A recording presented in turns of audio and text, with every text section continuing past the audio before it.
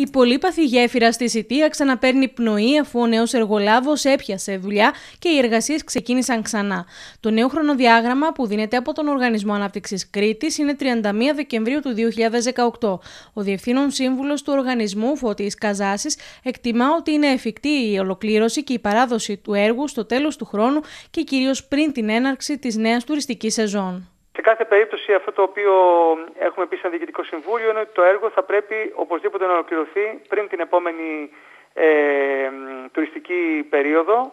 και να δοθεί με, σε πλήρη κυκλοφορία με κάποιους περιορισμούς που υπάρχουν σε σχέση με, την, ε,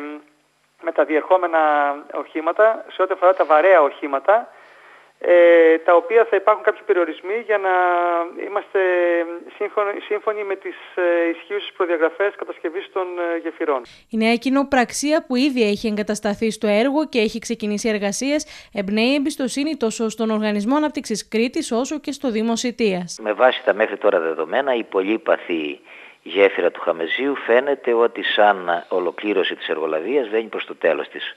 Και το λέω αυτό έχοντας μία σιγουριά διότι η κοινοπραξία η οποία έχει αναλάβει την ολοκλήρωση των παρεμβάσεων στη γέφυρα είναι μια α, κοινοπραξία η οποία μέχρι τώρα έχει δείξει πολύ καλό πρόσωπο σε όλα τα έργα τα οποία έχει αναλάβει στην περιφέρεια της Κρήτης. Και το γεγονός ότι ε, ένα μέλος της κοινοπραξίας έχει και άλλα έργα στην περιοχή μας να ολοκληρώσει που είναι σε εξέλιξη ε, αυτά τα δύο πράγματα συνηγορούν στο γεγονός ότι το χρονοδιάγραμμα το οποίο έχει ε, τεθεί ε, θα ολοκληρωθεί. Εκκρεμεί ένα ποσοστό